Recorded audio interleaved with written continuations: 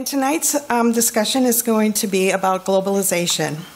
So, um, the merits and drawbacks of globalization are again being debated um, by our politicians.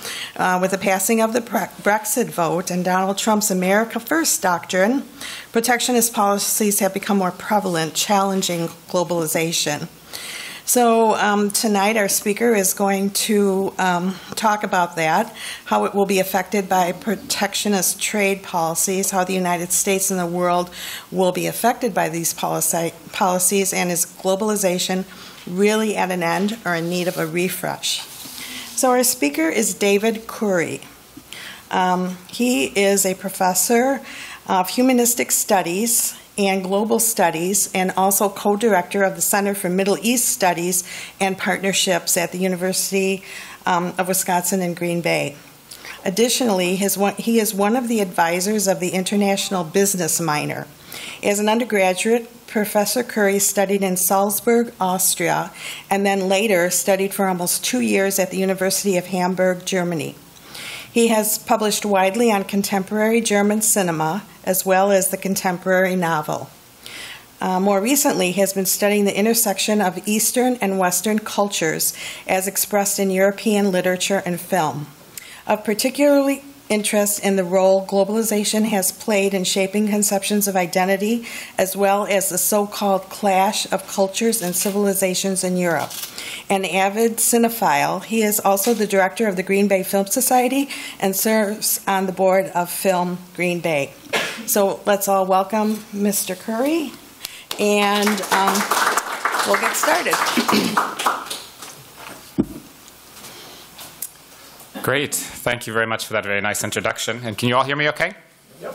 Great. Wonderful. Well, thanks for the invitation. I'm very thrilled to be here. Um, and I appreciate the invitation to come down to Sheboygan this evening. And I appreciate that you all come out uh, on somewhat drizzly evenings. So, um, tonight's topic, the end of globalization, um, is one that I, I, feel very strongly about. I teach a class on globalization, so I was very uh, excited to talk about this.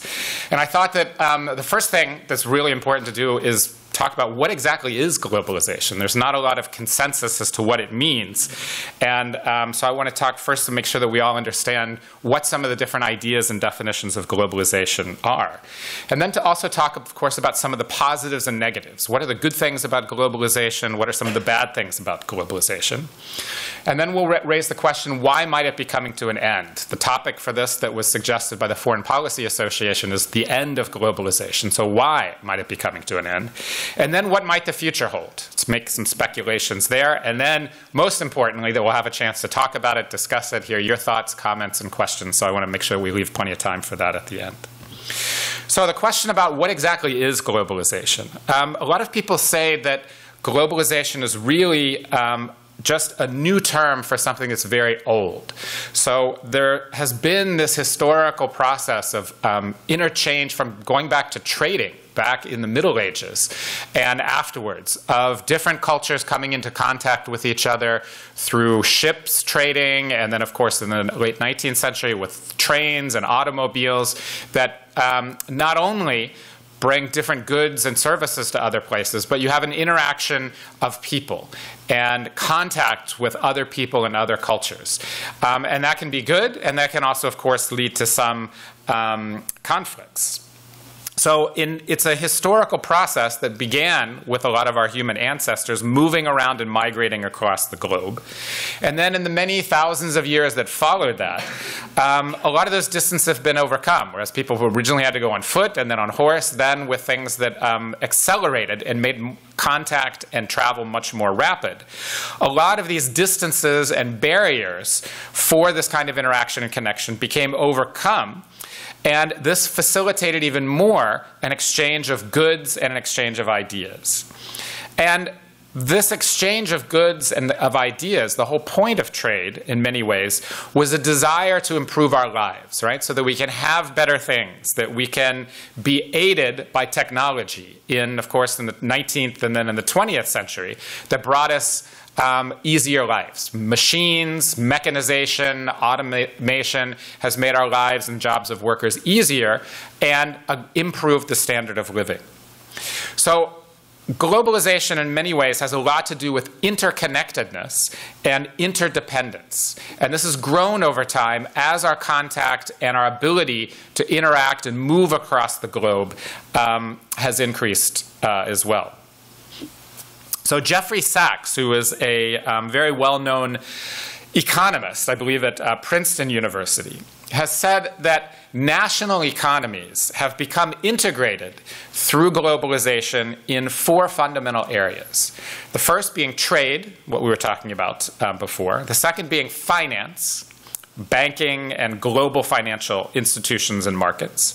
The third being production, and then the fourth are treaties and international institutions. And so these four things, he said, have really brought what used to be individual nation states more and more together through these processes of globalization. So I want to take a look at these four aspects that he talks about uh, a little bit more um, in depth to see what ex exact, exactly he's talking about.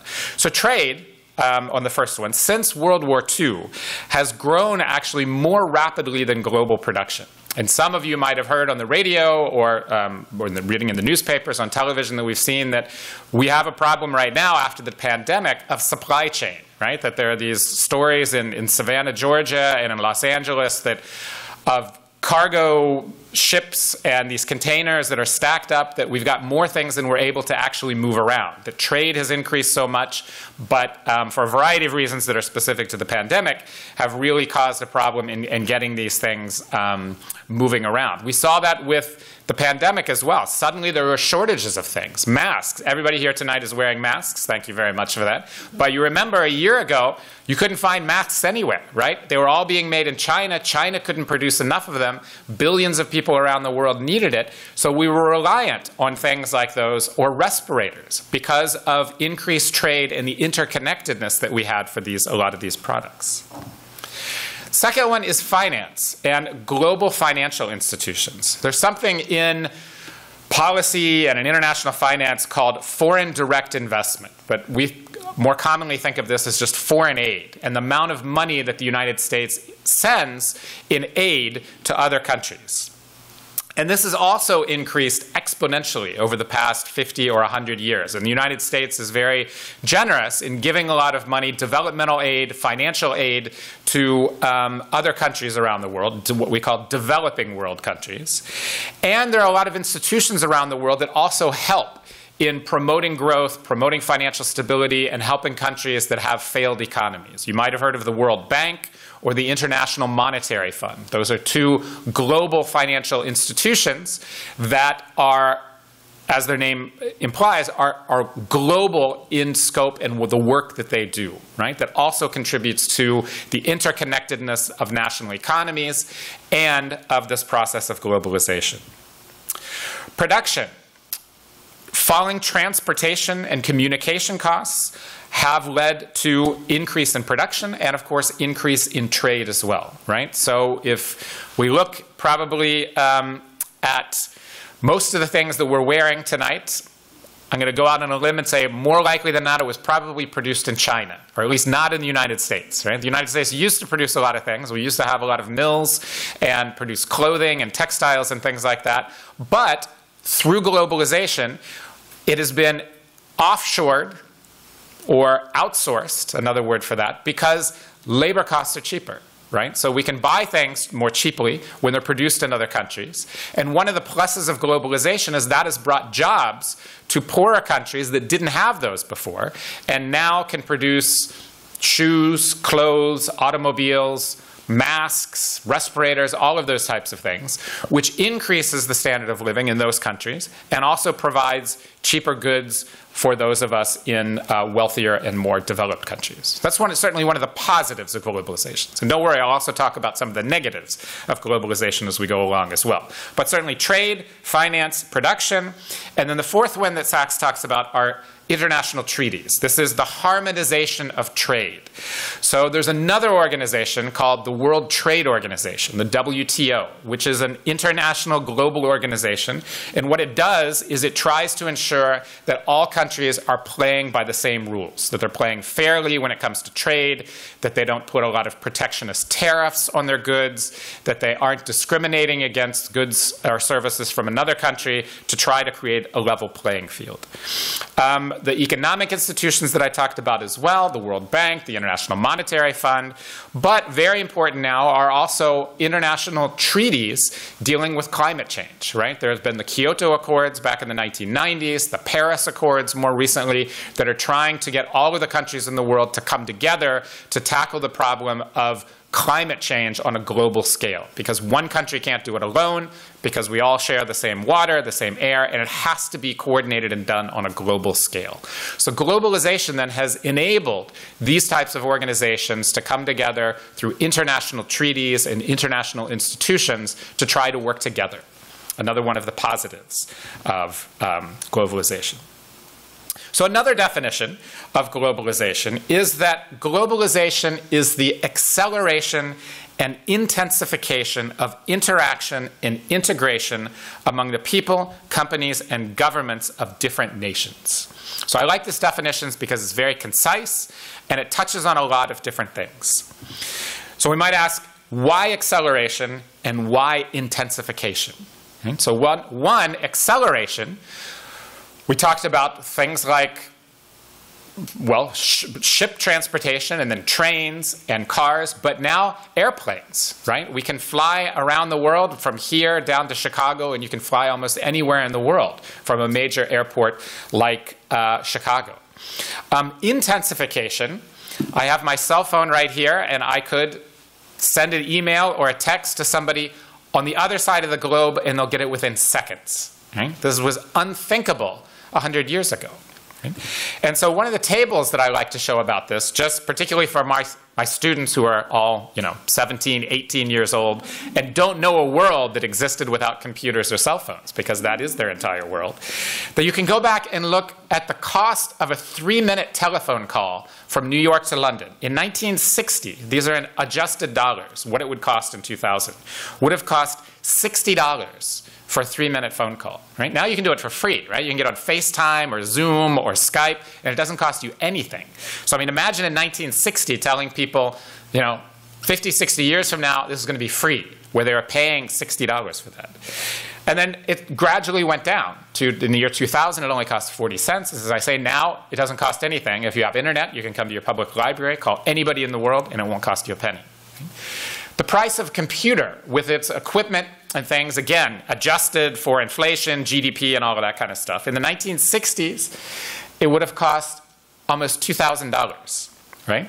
I'm sorry, a million dollars. I got to look at that. A million dollars. Right? This is when computers they were the size of this room and were able to do basic addition, subtraction, multiplication, and division. Right? Some of you might actually remember those early days of calculators, these big things, and the, all they could do at the beginning was add, subtract, multiply, and divide. And then over the years, the price came down so that now you can have a really great computer, computer like this one right here for a few hundred dollars, right? So from a million dollars down to a couple hundred dollars, and all of the things you can do with that. This is also one of the products of globalization, but has contributed to this acceleration and intensification of interaction that we have with peoples around the globe. So, what are the impacts then of all this been? Right? Has it been good or has it been bad? Well, the increasing integration of the world or globalization has certainly enriched lives of all of us, right? I think that's without a doubt. I was just talking, the fact that you can call, um, my son actually is in Spain right now, and we text all the time, and you know, years ago that would have been 30 or $40 to call, but now I can do it for free on the internet. It's brought cheaper products that have raised the middle class up to be able to purchase things, to be able to travel. So lots of things have really been um, beneficial and enriched our lives as a result of globalization. Um, so for many people looking at globalization, it's the only way for the future. By continued globalization um, is necessary to tackle things like climate change. Certainly when the, the pandemic hit, I think we all realized this is a global problem. It cannot be solved by one country. Australia tried to do that. They said, we're going to shut down our borders, we're not going to allow anybody in, and we're going to defeat the virus just by closing down. And it didn't work. You know why it didn't work? for that. And it wasn't, they, they still had cases of COVID, even though they were down to like zero. Sorry, and what happened was that they found out was that they still needed things, right? They can't, you can't live entirely on an island. island. So they were flying in goods from Southeast Asia. And the pilots then, who were going in a taxi to spend the night in a hotel before flying the cargo planes back, they brought in the virus. So they didn't allow anybody in and they had shut it down, but they still weren't able to do that, right? Because they couldn't be entirely self sufficient. Right? So it's not possible on your own, it has to be a global problem. But for many others, they look at globalization and say, well, this is really also a curse. Right? There are a lot of negatives that come along with this. And it's really important here that we think not only about wealthy, developed world countries, but we also have to think about the developing world, what we used to call the third world, right? We used to talk about first, second, and third world. Then when the Soviet Union collapsed, which was the second world, the terminology has changed to developed and developing world. So we are in the wealthy, developed world, but the developing world is impacted greatly by globalization um, as well. And this has led to certain pushbacks against a lot of things about globalization that other countries, or even some of us in the United States, think is not good and is negative. So, I'd like to move on now and talk about what are some of these pros and cons? What are some of the more specific things that are good about globalization or some of the problems that globalization has brought? Politically and culturally, there are lots of studies about these and, um, and facts that have been ascertained as a result of globalization. And it's been shown through a variety of studies that the more globalized the country is, the greater the spread of democracy and freedom. Right? So becoming more globalized, having more open borders has resulted in democracy and freedom. This was actually one of um, when you don't have 17 or 18 year old students in front of you, you have some people that have more life experience and might remember when President Nixon and Henry Kissinger opened up China this was exactly the goal, right? If you engage with China, it will eventually lead to greater freedoms and greater democracy. China's not there yet, but it without a doubt did that. Whatever you think about Richard Nixon, Henry Kissinger, and that policy, the opening up of China and making contact with them led to increased freedoms, democracy, and an increase in the, in the middle class in China. It also leads to free trade, and free trade brings wealth prosperity, jobs, and opportunities. Right? So of course there's always a flip side of that. When I talked about outsourcing and those mills in used to be in North Carolina that made a lot of textiles, when they were outsourced either to Mexico or to China, all of those people lost their jobs. But it created jobs in other countries that were poorer and helped lift up those countries out of poverty to bring opportunities, jobs, wealth, and so forth to other countries. The negative side are those here who lost their jobs, had to retrain and find some sort of uh, a job somewhere else. The spread of ideas and information promotes opportunities, but also freedom and human rights. The internet is a wonderful thing and also a terrible thing right? But one of the great things about it is that it has brought about the spread of freedom and human rights. The Arab Spring, some of you might remember from about 10 years ago, started in Tunisia, moved on to Egypt, and so forth. That was one of the first revolutions that was really driven by social media. So people were using Facebook, they were using texting um, in order to gather and protest. And through that type of information that was only available by the, the advent of the internet, they were able then to come together and result in change, in a regime change in Egypt. It also brings, quite simply, the enrichment of human life, right? Sharing of cultures, new food, new customs, new ideas. So our lives are enriched by our interaction, our contact with other people who bring new ideas, who bring new food, new customs, new things that we can learn from, and it expands our horizons. A few more things, a few more statistics about the positives of globalization. It's been shown that the more globalized a country is, the more it spends on public education. The more it enjoys political rights and freedom. The more globalized a country is, the less corruption it has in its country, in its government. And the more globalized the country is, the more open its borders are. Right? So having open borders, free trade, leads to things like more spending on public education, greater rights and freedoms, less corruption. But some people will say, well, open borders is going, particularly in this day and age, is going to lead to increased crime or terrorism. However, there have been studies that have shown that having open borders and being more globalized does not necessarily lead to higher degrees of terrorism. So there's not a direct correlation between open borders and increased terrorism. So now, which countries are the most globalized? Anybody have any idea? I want to guess what country in the world? There's, of course, there's an organization for everything. And there's an organization that studies this through all kinds of statistics and charts, and they come up with what are the most globalized countries in the world. Anyone want to guess? Yeah. Finland. Finland. Good guess. Anyone else? Denmark. Denmark. Also up there at the top. It's actually Ireland of all places. But a lot of the Scandinavian countries, as you mentioned, Denmark is on there, and Finland is also on there. They're certainly in the top 10 uh, amongst those. But a lot of countries in Northern Europe, Scandinavian countries that have these strong social democracies, Singapore, um, Hungary, and Canada, and the Czech Republic are also there as well. So, so those are certainly the positives, right? Uh, the good things that we know about globalization.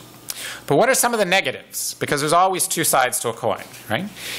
And one of the negatives and one of the fears that people have had for many years about globalization, particularly on the cultural level, is that it will lead to sameness, right? And that it will lead to uniformity and the loss of cultural specificity. When everybody starts moving around in immigration, you can fly there, eh, here or there, then everything will become kind of the same. This was one of the biggest concerns about the European Union, that it would create what people called a Euro pudding.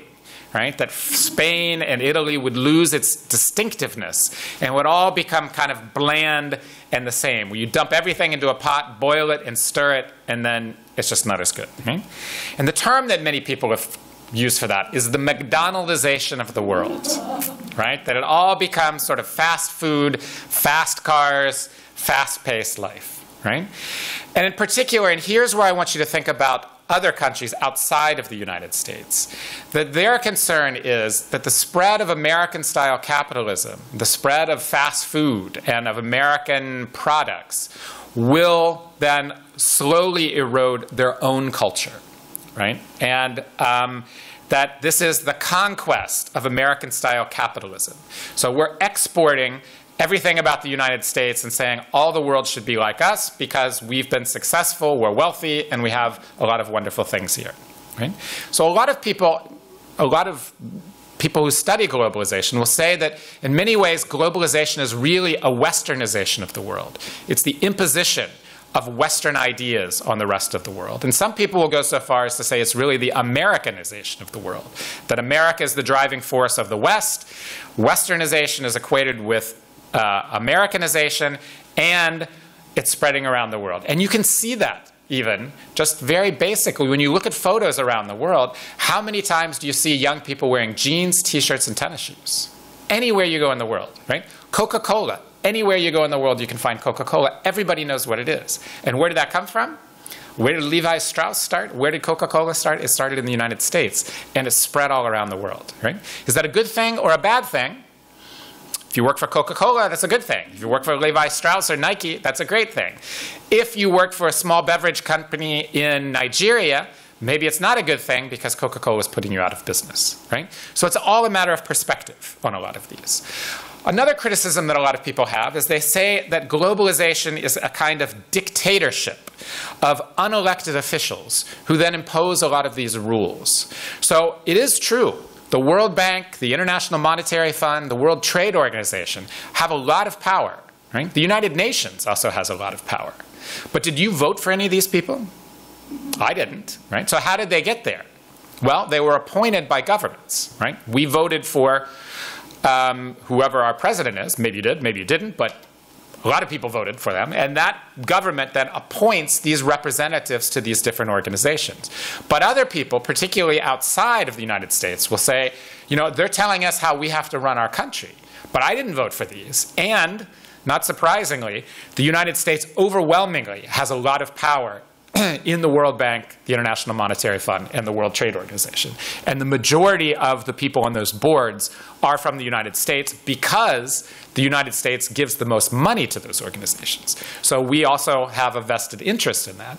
But other people were saying, well, you tell me that we can't have a nationalized airline or a nationalized corn industry because that goes against free trade rules because the World Trade Organization says so. Well, I don't agree, but those are sort of the new global rules. So again, it depends on your perspective, whether this is a good thing or a bad thing. So what is the fear of this? The fear is the imposition of values and economic principles onto other from the wealthiest nations in the world on some of the poorer ones, right? That in order to be successful, you need to do things the way we did things, right? That's sort of the argument. Maybe it's right, maybe it's not, but every country is a little bit different, and the American model or the Western model may not be the best one for them. And the fear is that the rich will only get richer and the poor will get poorer. Right? So that's one of the negatives that people see about this. And there's also a concern about loss of tradition and loss of local institutions. Right? With powerful multinational corporations, they can come in and have a lot more power that can put smaller businesses, smaller craftspeople, um, and these local traditions uh, sort of out of business there. And some people view that as a type of economic colonialization, right? That is American, Western style economics that are coming in and sort of maybe destroying the local economy there. So, the fear here, another example of this. How many countries are there in the world? Anyone know, roughly? Recognized countries? Pardon? 300. 300? A little bit less. There are 195 countries in the world. How many countries in the world do you think have a McDonald's? Every one of them. North Korea doesn't, and Iran doesn't either. But the number goes up and down, but it's 120. Okay? So there are 195 official countries in the world recognized by the United Nations, and 120 of those have a McDonald's. the other ones have Starbucks. Now, is that a good thing or is it a bad thing? Well, again, it all depends. And that's one of the things that I always want to tell students when I teach globalization. It's not all good and it's not all bad. It all depends on your perspective. Right? I remember I had a Polish student. This was many years ago, maybe 15, 20 years ago. Uh, an international student in my class, and we were talking about this very fact. And my students are, yeah, that's awful, you know, that McDonald's, it's the worst kind of food, fast food, greasy, and we're exporting that to everybody else. And it's the worst of American culture, and there's so many things that are better than that, but yet this is the image that people have. And she raised her hand because Poland, as you know, up until 1990 was a communist Soviet satellite. And she said, my friends and I were thrilled when the first McDonald's opened in Poland because we thought we've joined the rest of the world. This is great we have something from the United States. And my students were like, oh my gosh, I never thought about that, right? For her, this was something that Poland was joining the world community because it had a McDonald's, right? Now, maybe they may not think that, but at the time, it represents a kind of status symbol, right? You've reached this, this global economy. I don't recommend eating hamburgers all the time, but you know, there's there's something to be said about that. So I talk a lot about McDonald's, not to be negative about McDonald's, but because it's a really good example to talk about globalization. Thomas Friedman, who is a columnist for the New York Times, wrote some years ago in a book about globalization that the more McDonald's two countries have, the less likely they are to go to war. That's a strange statement, right? Oh, More McDonald's, right? So the question is why? Why would there be a correlation to having more McDonald's and being less likely to go to war? The reason is because they're more globalized, they're more economically interdependent, relying on other countries, and therefore they're more likely to find peaceful means of resolution, to maintaining those economic trade relationships. Right? So the more McDonald's they have, the more globalized they are, the more interdependent they are, and the less likely they are to solve conflicts via war. Right? In 2008, when there was the big financial crisis, you remember that? The big downturn, the great recession. Slate magazine, an online magazine, found another statistic related to this. And they said the more Starbucks a country has, the bigger its financial problems were during the Great Recession of 2008. Why would that be the case? because the more Starbucks a country had, the more globalized it was, the more interrelated its financial institutions were, and this was a domino effect. Remember in 2008 that one country was, you know, the subprime mortgages and all of these, you know, toxic assets that were being bought and sold on Wall Street, and it had this domino effect. And all of the other countries that were linked financially through globalization got hit by that. If they were very globalized, and if they were very globalized, they had a lot of McDonald's, or Starbucks, and McDonald's, probably both. Okay? So this idea of McWorld as being um, a symbol of globalization is something, there was a political scientist at the University of Maryland who wrote a book called Jihad versus McWorld. And this was before 9 11. He wrote it in the 1990s. And what he meant by jihad was not what we think of now as holy war from you know, radicalized people in, um, in political Islam, but pushing back against McWorld. And so McWorld he defined as the Americanization of the world through consumer oriented market capitalism. And jihad he defined as the resistance to this, sort of the pushback that other countries had, saying, this is not what we want, right? We are, don't want American style, consumer oriented things. We want to have our own culture, our own way of doing things, which could be quite different, but nevertheless, um, our own sorts of economic um, systems. So, this push and pull has led to a number of tensions within globalization. So there's another very short article that I always like to teach with my students that talks about the three tensions of um, globalization. And I just want to outline this here, and I think you'll really get then a, a, sense of that, and then leading to why we might talk about the end of globalization in relationship to these um, uh, three tensions. Um, so first of all, before we got there, I thought that was the slide, that is globalization political, economic, and cultural integration, or is it the westernization or Americanization of the world, right? So positive or negative. Is it a force for economic growth and the spread of democracy, or is it the exploitation of the West of the underdeveloped world? That is, using cheap labor in um, poorer countries, and we've all read these horrible stories about countries that go and produce, you know, shoes, and they pay people you know, a dollar a day and then sell them back to the United States for $150 or something like that, right? So there are two sides to all of these. And we can see these in many ways in these three tensions. So the first tension that um, the author of this, this article talks about is individual choice versus societal choice. Okay? Can you think of any examples there of this tension between individual choice and societal choice?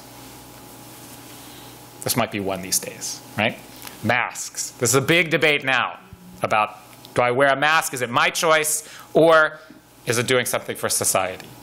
A few years back, this was a big debate about smoking. Remember when more and more uh, cities and, and, counties were banning smoking, first in restaurants and bars, and people were saying, I have a right to this, and I, you know, if I want to smoke, I have a right to this, and other people were saying, well, secondhand smoke, all of these causes and all of the negatives about smoking is about society right? But it's a tension, right? What about my individual rights versus what's better for society? Sadly, the pandemic has really exacerbated that. Yeah. Seatbelts. Is another one. Yep. Mm-hmm. When that law came in in the 1970s, people were like, you know, who's the government to tell me that I have to wear a seatbelt and blah, blah, blah. My choice versus societal choice. Right? abortion be one? Abortion as well, right? my body, my choice versus the government saying I can or can't do that. Mm-hmm. That's another one as well that's there. So, a second one free market versus government intervention or subsidies, right? So, Adam Smith, some of you might remember that, his, that name, and the free hand of the market, right? That the uh, free market will regulate everything, and the government's role is sort of to step back and let the market do its thing. Or, should government be involved in regulating things in order to create a level playing field? Right? And this often comes up with subsidies. And the United States is as guilty as this of any other country. We, we slap tariffs, I think now, you know, we got into some tiff with France and we put a, a tax on French wine, and then France put a tax on American bourbon. Some years ago, President Bush put a, a, tariff on steel coming in in order to boost American steel production, and it's a way, of course, of you know trying to improve local industries, right? But it can be used punitively to punish other countries about things, or it can be used to try to boost um, our own industries, right? A lot of countries have a nationalized airline, right? So I tell students, you know, a, small country like Lithuania, right? If they had to work on free market principles, they might not have an airport or a national airline because there's not enough people who want to fly to Lithuania. So the government says, well, it's important for our people to be able to fly to places, so we're going to subsidize and we're going to have a nationalized airline that the government funds. Then Delta and British Airways say, well, that's not fair because the government's supporting them, they're making a lot of losses, and we don't get bailed out from the government, et cetera. Right? So this is one of those tensions free market versus government intervention. And then the third is local authority versus sort of supranational authority. We see this tension all the time in the United States, right? Between states' rights and the federal government. Right? People say states' rights, the state needs to do whatever, whatever it wants to do, and that in Washington should stay out of it because they're uh, you know, all the way over there on the East Coast. You see the same thing in Europe about Brussels you know countries in Europe saying you know Brussels shouldn't tell us here in Spain or in Italy what we want to do or what we have to do. We need to have our own local control. And then you get in a more broader picture and look at things like the United Nations. A lot of people say, ah, we should get out of the United Nations. Who are them? They to tell us what we have to do, local control, et cetera, right? So that's another tension that comes along with um, globalization. So all three of these play out on a very local level, but they also play out on a broader, more international or globalized level. Culturally, um, globalization can promise an international civil society that leads to a new era of peace and democracy that we talked about. For others, as we said, there's a negative side to this. And um, it's the concern over the dominance of the American system of westernization and of so called McWorld. Right? So, a few more things about globalization for you to think about pros and cons, and then we'll talk about why maybe um, we might, some people might think that globalization is, is slowing down or coming to an end. I'm sure you know all know this old adage, right? That give a man a fish and you feed him for a day, teach a man to fish and you feed him for a lifetime. This is also related to globalization in many ways. Outsourcing, tr- international trade, and the ability to lift up other countries to have an increased standard of living. So, since globalization has emerged in the 1970s, we've seen that world infant mortality rates have fallen by half, right? Expanded healthcare and medicine around the world has led to a, a dramatic decrease in infant mortality rates. Adult literacy has increased by a third as a result of a lot of these processes of globalization. Primary school uh, enrollment has arisen, has risen, and the average lifespan has shot up by almost 11 years around the world. Okay? So, undoubtedly, there's a lot of pros from uh, a lot of good things about globalization.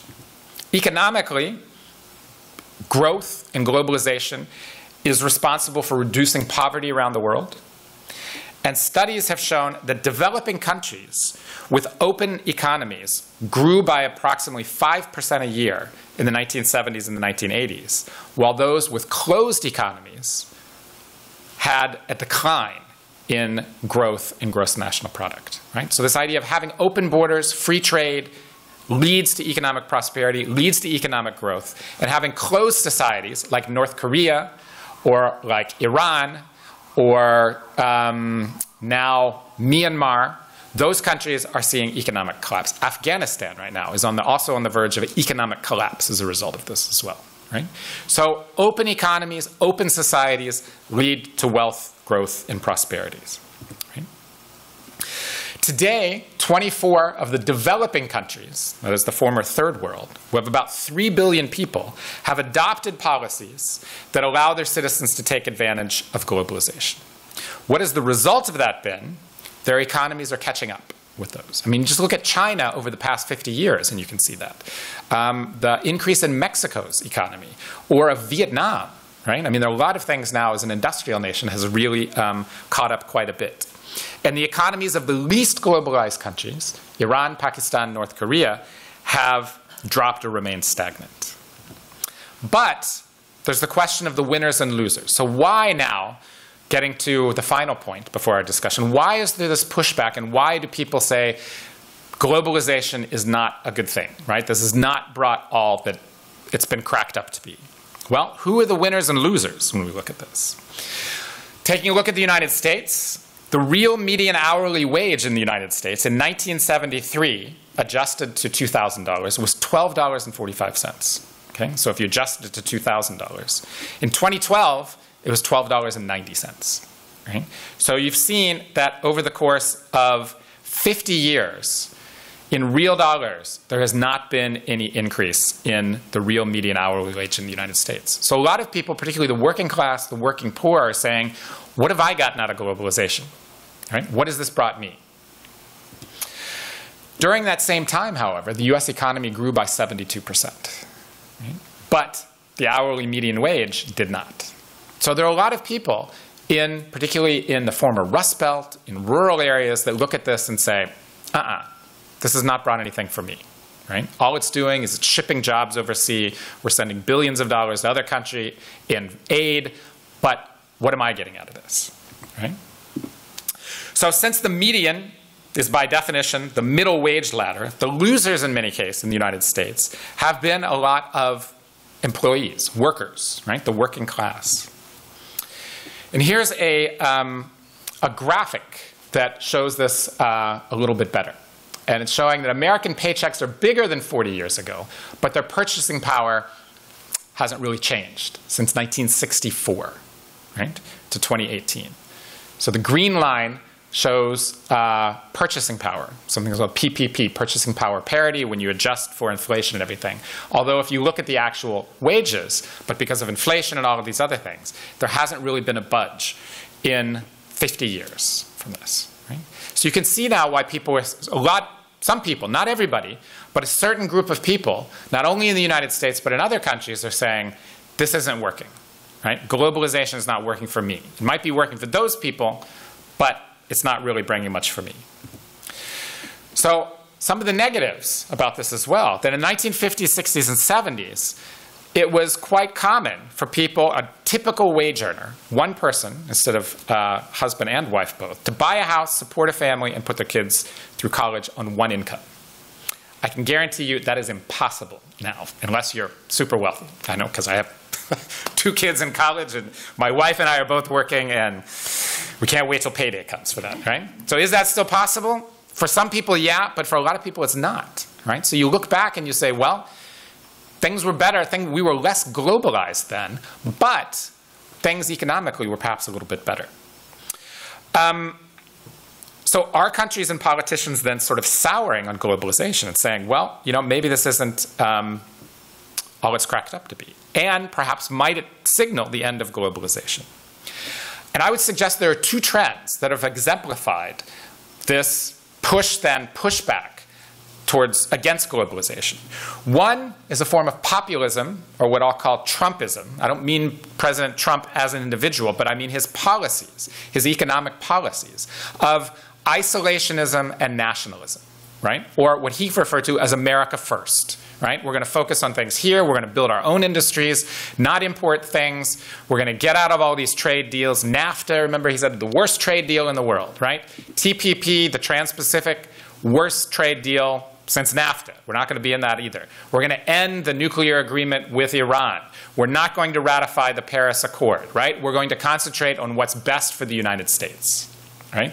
And that means getting out of all of these treaties, cutting down, ending all of these wars, bringing everybody back, not sending money to all of these organizations. He wanted out of the United Nations, didn't want in the World Trade Organization anymore, the IMF, all of those things. Get rid of it, and we'll focus on the United States. And a lot of other countries are saying, yeah, what he's saying. That's what we want to do too, right?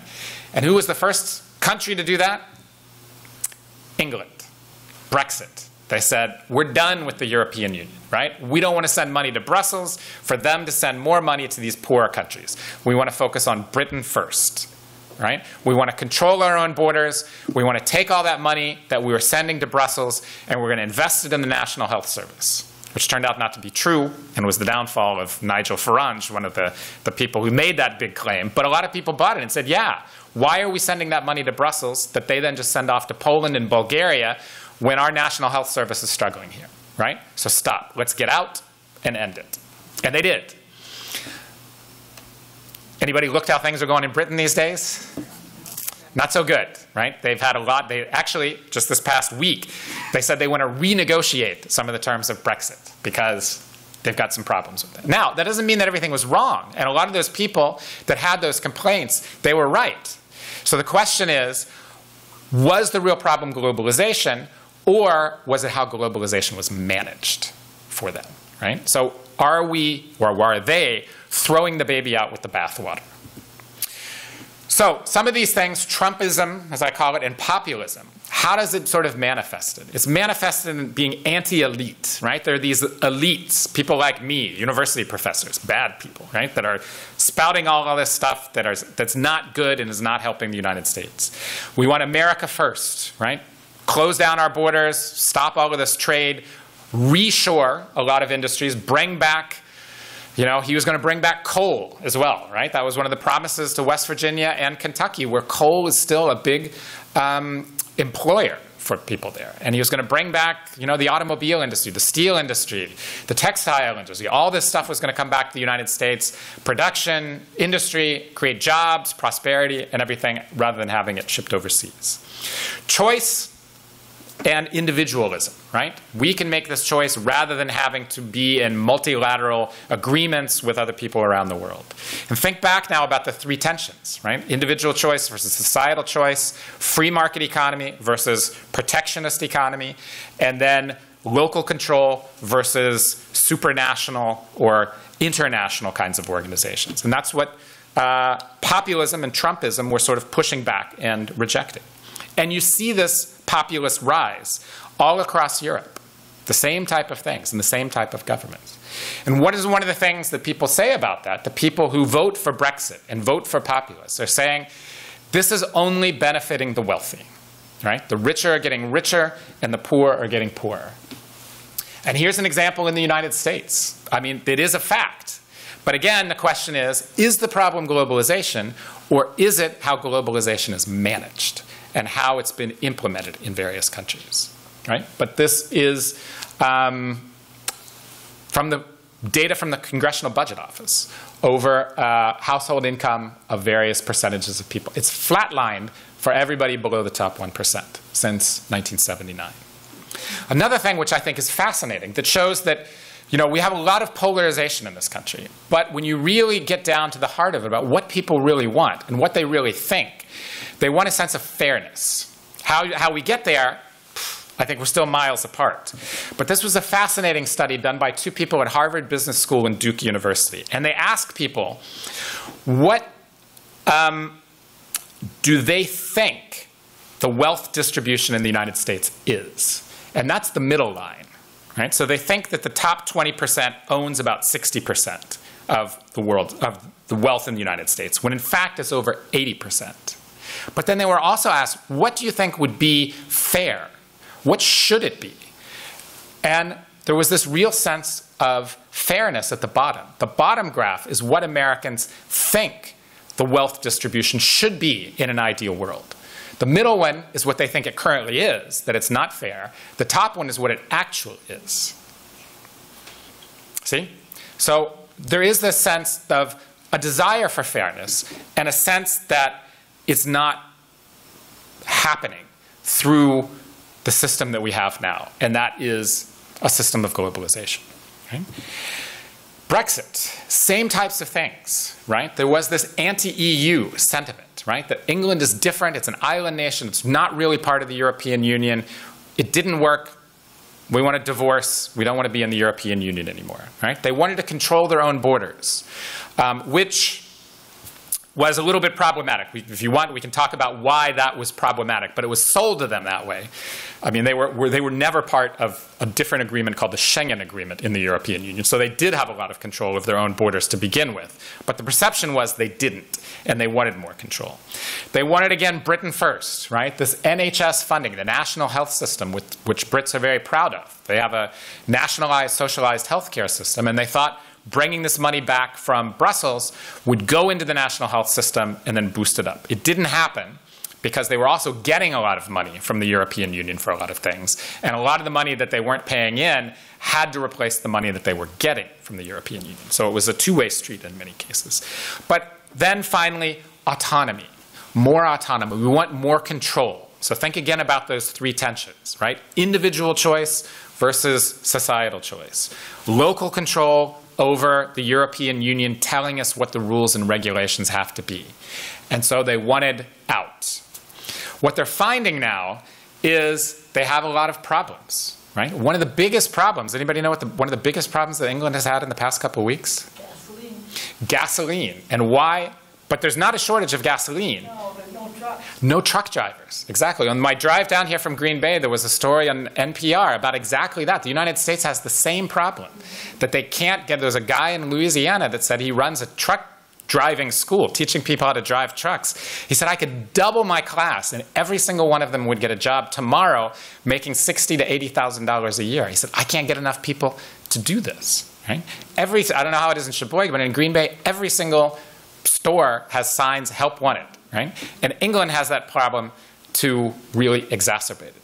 And part of that has to do with immigration, right? When you shut down, the pandemic has closed down travel and borders. And a lot of the people that were driving those trucks in England were immigrants or people that were driving back and forth on ships from mainland Europe on to, uh, to, to Great Britain. And that stopped, and there's simply not enough people there. Right? We've also shut down our borders. We haven't had a lot of immigration because of the pandemic. And we have a decreased population, right? Our population growth in the state of Wisconsin, you can look how many kids are there in elementary school. You can predict how many people are going to be graduating. 10 years from now, how many people are going to go to the university. I can tell you because our administration has been giving us these numbers for the past 15 years, and it's going like this. And if it's going like that, you still need people to do things. And if people aren't having babies, you've got to have people immigrating. The pandemic has really made it worse. Crackdown on immigration exacerbated that even before. And now we've got this problem that there's just simply not enough people for all of the jobs that are available now that the economy is turning around again. So, looking forward, this is my final slide. I talked a little bit longer than I wanted to. I apologize for that. But I, I, always try to emphasize to students that globalization isn't all good and it's not all bad. There are a lot of things, undeniably, that are good and important about globalization, but there are also a lot of things that are bad about or problematic about globalization. Both of them are the case. So we have to try and find a middle ground. And it's also a fact. You can't really be for or against globalization because we've already crossed that bridge. You know, the internet's not going away, air travel's not going away, trade, all of this stuff is not, you can't just say we're against it and thanks, we're going back to the way it was in the 1900s. That's not going to happen, right? So the question is, how is it managed? How is it managed so that it's fair, both vertically and horizontally? Around the world, but also within our own society. Those statistics that I showed you, it is true. The richer are the rich are getting richer, and the poor are getting stagnant. Right? That's not because there's not wealth there, but because of how it's managed, and it's not equitable vertically in the United States or horizontally around the world. So, how is it managed? Who benefits and who loses from this? And that we have to consider the implications in the United States, but also around the world, for the developed world as well as for the developing world. Are there any bright spots? I always hate to leave things on a down note and a negative. There's, there's some glimmer of hope and, and things of positive about that. In my opinion, I think the global COVID response, I mean, we're still struggling and we've got a lot of work to do in the United States, but this was a time when the world came together and said, we have to find a way to do this. You can criticize a lot of the pharmaceutical companies, and it's justifiable, but they are doing a lot of right things, right? They are trying to make cheaper vaccines. The United States has spent billions of dollars producing this and are giving it away to people to other countries around the world. Everybody in the United States who wanted a vaccine, and I hope everybody got one, got it for free. In my university, you could get tested. In fact, I, last year I had to be tested every two weeks to be on campus. Right? I got a vaccine for free. I was tested for free, and this type of thing is going on around the world as well. So the world came together to try to solve a really global problem. Climate change. We have not done nearly enough, but at least the world realizes this is a global problem and it has to be addressed together globally with a sense of cooperation. The United States has to get on board to the Paris Accords and has to do things to move much, much faster. Talk to my students, talk to kids who are 17, 18 years old. Their number one concern climate change and what their world is going to look like and what their children's world is going to look like 40 or 50 years from now. They get it, and it's really, really important to them. And I can tell you because I talk to students all the time, and you ask them, Are you worried about climate change? And they say yes. In fact, in Germany, they just had elections two years ago, or two weeks ago. The number one topic when they polled people in Germany, what's your number one concern? It was not immigration. It was not COVID. It was not the economy. Their number one concern was climate change. And they voted based on that. And the Green Party had huge gains. And the Conservative Party that was in power lost because they did not have an aggressive enough climate uh, policy. So it is something that the world is working on, and it recognizes that. This populist wave of sort of nativist kinds of ideas, Brexit, isolationism, economic nationalism is a little bit on the wane.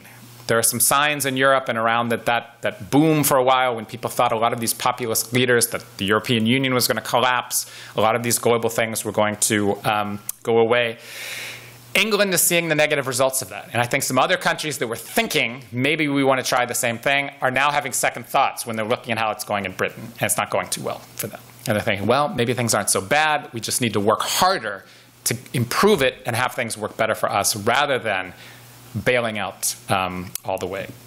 So, this idea of being better together is something that's slowly coming around in the sense of a need for um, greater cooperation. But that's not to say there are a lot of challenges um, left ahead. So, thank you. As I said, I talked a little bit too long, longer than I wanted to, but thanks for listening and your patience. And now I would love to hear your thoughts and questions, comments, ideas um, that anyone has. Yes? Um, my sister wanted to go to Europe, and we had to call my brother-in-law in Norway to see if we could get to a country that didn't have McDonald's and all that garbage. And he sent us to Poland. To Poland. Mhm. Poland. So we got to Poland. We got in an, uh, apartment, and we were in a big building, and, uh, the soldiers still had big, long, like, really big guns. Everybody wore black. Nobody smiled, and my sister likes to spend. And you, you could go into the store, nobody would look up, nobody would look up at you. And you could stand there to give them money, and they're not looking at you. Yeah. It was amazing, it was just amazing that they hadn't learned that. Still a legacy of the 40 years under um, communist rule and uh, as a Soviet satellite. That, uh, yeah. And number two, the, the last guy that was here, hmm he said, you are just wild. We are, look at me so much. So, um, Yeah, I know Dan very well, so he's a, he's a great guy. Obviously you do. So how do I get my son away from Kohler? He's been there five years cleaning toilets, twelve dollars and ten cents. Still. Yeah. And you said back in the sixties? hmm It was in adjusted to, to today's dollars. That was the So same. who do we jump at? Yeah, well, that, that's a great question. What to do? I can say that um, as a result of the pandemic, wages are going up, so he can certainly earn more than that. I have a student whose boyfriend is earning $20 an hour at Chipotle. That I was shocked. And in Green Bay, there are signs that at, you know, Dick's Sporting Goods, Targets, that they're starting $17, $18 an hour. So it is going up. And that is another, you know, again, Trumpism, and not President Trump himself, but the idea about that was if you decrease immigration and you have fewer people coming in to take these lower paying jobs, that will push wages up. And it does, but it was so much so that we have a shortage of workers. But the bigger problem, I think, is a much bigger, more structural thing, right? I mean, there was a push recently, the so called Fight for 15. I don't know if you remember that slogan about having a, a, a minimum wage at um, $15 an hour, which failed. And the counter argument was that you know entry level positions are not meant to be careers; they're stepping stones for going up. However, there are a lot of people that have those jobs, and they're working two of those jobs um, to to make ends meet. They used to be jobs in the 50s and 60s where you could. I mean, there were people who worked at Sears or J.C. Penney's, and that was a job where you had benefits and you could raise a family from that. And in my personal opinion, that's also connected to things like the cost of daycare, right? I mean, if you, the cost of daycare, I remember when our children, many, you know, 17, 18 years ago, were in daycare, we calculated the, what we were paying. And my wife and I are both professors, so we had a lot of flexibility, and we did not put our children in daycare from 7 o'clock in the morning until 7 o'clock at night, which some people had to do. And I respect the fact that they had to do that in order to work. We didn't, but still the cost was the same as tuition at UW Green Bay at daycare. So if you're working just to pay for daycare, you can't do it. So you have to get a second job. And if you get a second job, then you have to put your child in daycare for even longer to work that second job just to be able to pay that.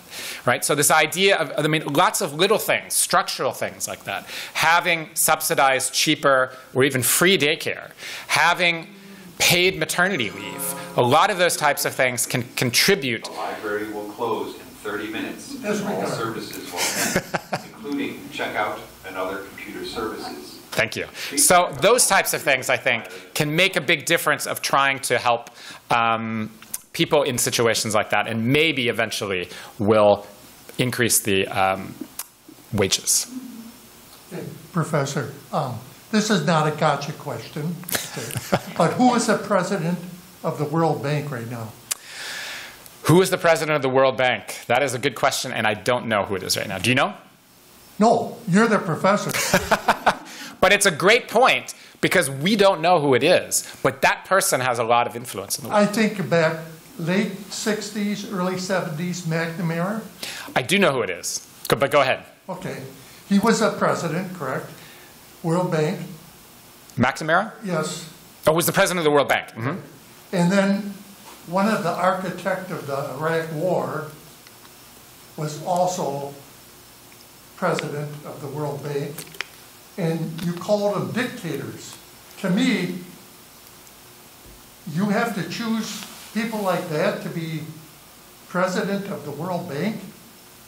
I didn't mean, um, so that was one of the criticisms of them. And, and I put it in quotation marks. Not that these people were dicta- dictators themselves, but that people in other countries viewed them as dictators because they were imposing particular policies uh, on developing world nations for which they had no say and they had, were not elected these individuals. So viewing it in that sense, and I'll give you an example. In Argentina, there was uh, Argentina has a lot of economic crises over the years, and they had to get bailed out by the World Bank and the International Monetary Fund. And there were conditions placed on it so that they wouldn't default. I mean, they did default. They weren't able to pay workers. They weren't able to pay government employers, which were teachers, professors, police, etc. The World Bank and the IMF said, okay, we're going to give you this money, but here are the conditions. You need to privatize this industry. You need to cut pensions of public sector employees. You need to do this, that, and the other. And they felt like we're in this situation where our economy is collapsing. There's inflation of, you know, 100% a week and prices going up that every, all of my savings is worthless. So here's this international institution which is going to help us, but the conditions that they are imposing on this bailout are you have to be more like the United States and run like a Western economy. So they viewed these people, who were the directors of the IMF or the World Bank, as types of financial dictators, not like a Saddam Hussein or a Stalin or somebody like that, only because they felt we didn't elect these people, but the only chance we have is to have a bailout from the IMF or the World Bank, but they then impose these conditions that we're not in agreement with. So the president is who? Is, Chris- is actually of the IMF is uh, Christine Lagarde, I believe, And- and of the World Bank I don't know, Okay, all right. But I can look it up. You can have great ideas, all the professors that are thinking about immigration and uh, climate change. But if people with authority don't want to listen, what can you do? Yep. Very true. Very true. All you can do is vote. Maybe vote somebody different. Do you, does the U.S. Uh, worry about the decrease in birth rate? Do I worry about it here? Y- yeah, I do. Um, and I think that, you know, people are living longer, which is wonderful. My mother, who I love dearly, is going to turn 92 this year. My father lived to be 90. Nobody in their family, nobody lived even near that. Her parents, both her father died when he was in his uh, late 50s, early 60s. My father's parents died in their 40s. My father lived to 90. And as we live to be older and older, we have to have money being paid into support systems for that population. And the only way you can do that is by having workers. And if our if our demographics look like this, and many countries have this kind of a demographic, you've got two choices. People have more babies, or you have more immigration. Or you cut Medicare, Medicaid, and Social Security, which I think is ethically and morally wrong, right? Because there are other options to support people, and as any society, a democratic, free society, should support the older population who have contributed all their lives to society. That's my personal opinion for it. So I do think it's a problem. And either people need to have more children, but a lot of people, young people, look at it and say, I can't afford it, right? I can't afford to have a child. I mean, that's sad if a young person thinks I can't afford it because of daycare, because of this, that, and the other. I have to work two jobs. Rent keeps increasing. Then the only other way to do that is increased immigration, and that is a complicated and polarizing issue as well. And the infrastructure part of that bill was for childcare. Yeah, yeah. Was Mhm. Right. So infrastructure doesn't doesn't only mean that we have better roads. It also is a huge influx into our economy, right? You have jobs and you have those people then that are paying taxes and that will bring increased tax base to places like Sheboygan when I don't know how your roads here are in Green Bay. They could be a little bit better. We got some bridges that could be need some repair, and everywhere around. Um, you know, high-speed train I think would be wonderful to get from Green Bay for Packers games, if nothing else. People coming up from Chicago and Milwaukee, so they don't have to drive back after tailgating, and it cuts down on traffic. It's better for the environment. It's good for the economy. I mean, there's so many things like that that help climate, help jobs, help the tax base. Um, so infrastructure can be huge. Thank you. Uh-huh, You're well, thank you. That's a great question. One thing I noticed, uh, I happened to be in Tibet a few years ago, about three years ago, and there were, the hotel I stayed in had Kohler toilets and showers. Yeah, yeah, So that's globalization. it is. Yeah, Uh, The other thing I uh, was thinking about when you mentioned daycare, during World War II, we did have, uh, Kaiser Industries had a wonderful daycare system. They had laundry services, meals that you could take home, 24-hour daycare, and it wasn't expensive. hmm Why has that fallen that the industries can't do that now? I don't know that they can't. Um, it's a question of do they want to, or where the priorities are in many cases um, for Do you think that will change now with many women that are unable to go to work because they have to be home with their children? I hope so. I mean, I think that um, you know, I my main area is is German studies. So I teach uh, classes on on Germany and the European Union, and there are a lot of a lot of countries in the European Union that have free daycare. They have in Germany. I tell my students this, and they're like, "Oh my gosh!" And you guys will be even more shocked. By law, your first year on a full-time job, you're guaranteed by law six weeks of paid vacation. Right? If you have a child, you are guaranteed six months of paid maternity leave that's paid in part by the employer, but also by the government and also by the taxes and the, and the um, benefits that you're paying into. So it's the responsibility is shared three way, three ways. And you also have a right to take three years off of your job, unpaid, but that you're guaranteed to be able to return to that job after three years. Because the idea is the first three years of a baby's life are the most crucial for the development of that child, for the bonding with the parent, and the, the parent, and it could be either a woman or a man, Not many men take it, but it is parental leave, not maternity leave. So there are ways of doing that. The trade off, of course, is you have to pay higher taxes. Right? I mean, a lot of people complain here about taxes. Our taxes are not that high in comparison to other countries. And there's also a question of what you get back out of it. But, you know, the United States is a very individualistic country. So, coming back to the three tensions, that first tension, free choice versus societal choice. I mean, look what happened with the Affordable Care Act, the so called Obamacare, right? There was a lot of opposition to an idea of universal health care so that everybody has health care. Right? I mean, what, I, how that got to be a controversial idea, I'm not really sure, but the basis of it was choice. I don't want the government telling me I have to have health care. Right? I mean, that was the basic argument. I don't want the government telling me that I have to get health care. And to make it work, there was a penalty. If you didn't get health care, you could get a financial penalty initially. That was then chipped away, and that part was taken out.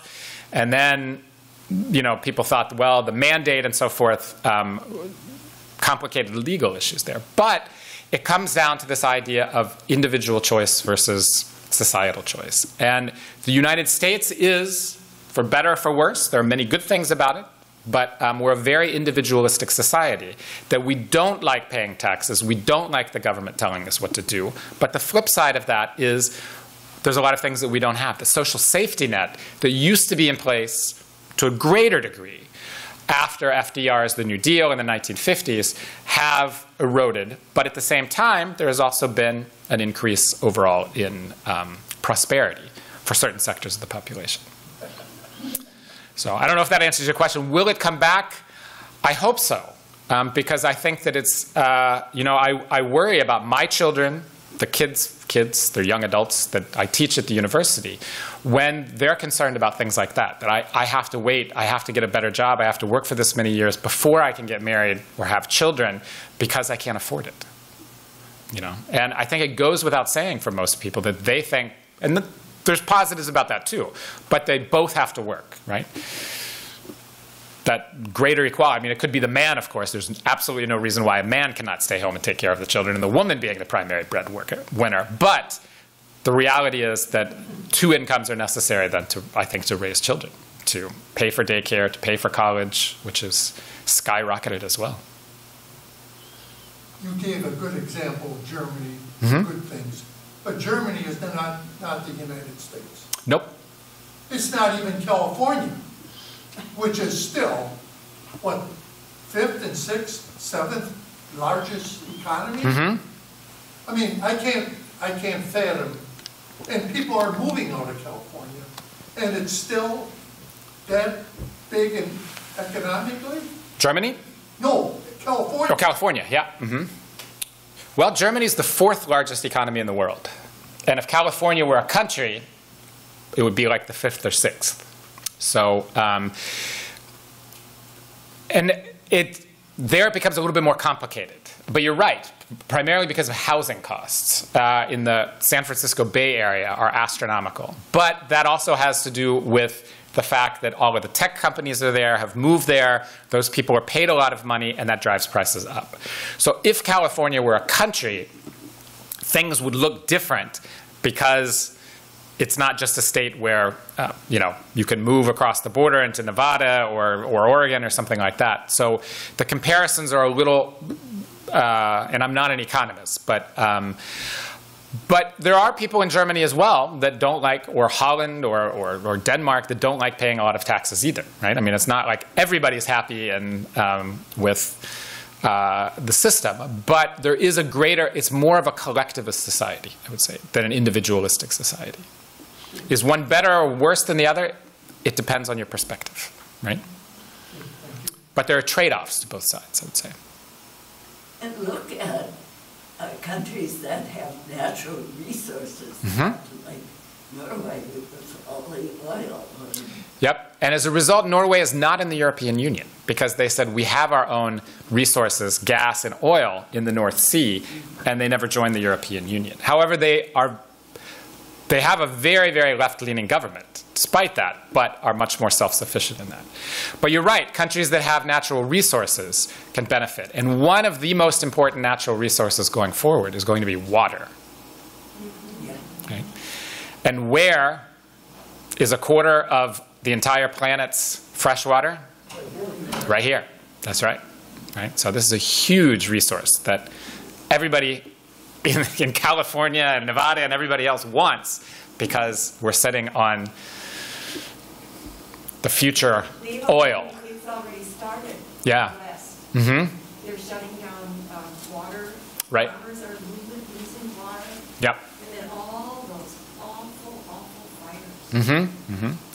And a lot of those are as a result of climate change as well, right? That winters are going to be, or storms are going to be stronger, hurricanes, drier summers with heat causing fires, et cetera. And, and again, this is something that really, coming back to the positives of globalization, have to be dealt with on a global scale as opposed to a Do you think national. it's too late?